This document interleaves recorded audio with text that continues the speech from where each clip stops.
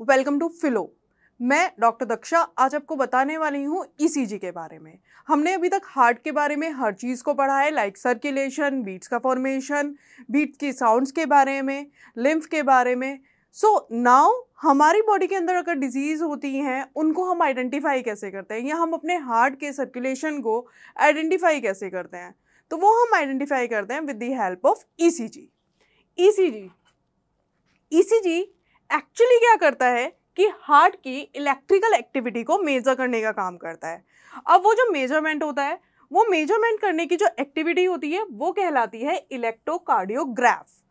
और उस उसकी जो इमेज रिप्रेजेंटेशन होती है, जो आपने कई बार देखा होगा कि इस तरह की जो इमेज एक ग्राफिकल इमेज हमारे पास आती है, वो जो ग्राफिकल इमेज होती है, जो हमारे ग्राफ पर बनी होती है, उसको हम बोलते हैं electrocardiogram.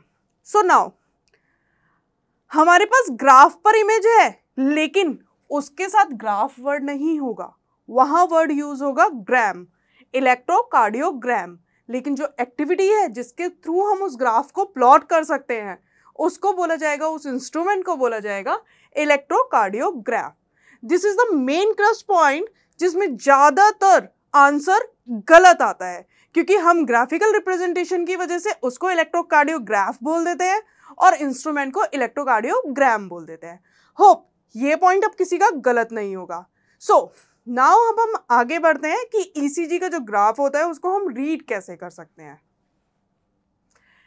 This is ECG ECG के अंदर हमारे पास एक होती है P wave Q R S wave and then T wave जो पी वेव होती है ये इंडिकेट करती है आपके एट्रियल डीपोलराइजेशन यानी कि ऑरिकल का डीपोलराइजेशन यानी कि ऑरिकल का कॉन्ट्रैक्शन देन ये जो हमारी क्यू आर एस वेव है दैट डिनोट्स वेंटिकुलर डीपोलराइजेशन यानी कि वेंट्रिकल का कॉन्ट्रैक्शन एंड जो टी वेव है, ये रिप्रेजेंट करती है वेंट्रिकुलर रिपोलराइजेशन यानी कि वेंट्रिकल्स का रिलैक्सेशन अब जहाँ ऑरिकल जो है हमारे वो कॉन्ट्रैक्शन में गए हैं उसके बाद का जितना भी पोर्शन है, यानी कि Q R S and T that is auricular deep repolarization यानी कि ऑरिकल का रिलैक्सेशन अब, आपको याद होगा, हमने जहाँ पर हार्ट बीट्स की बात करी थी, वहाँ पर हमने कहा था there are four heart beats S one S two S three and S four अब वो S one S two S three and S four E C G में कहा आती है?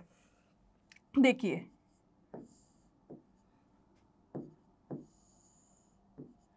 हमारी एस वन यहाँ होगी एस टू यहाँ होगी एस थ्री यहाँ होगी और एस फोर हमारी प्रेजेंट होती है ऑरिकुलर डीपोलराइजेशन पर।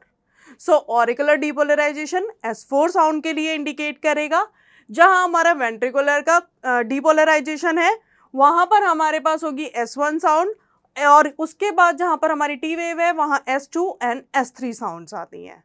होप हमारा पूरा ईसीजी e जो है वो हमें क्लियर हुआ होगा। अब ईसीजी e का रोल कहाँ आता है? ईसीजी e का रोल आता है हमारी डिज़ीज़ को आइडेंटिफाई करने के लिए।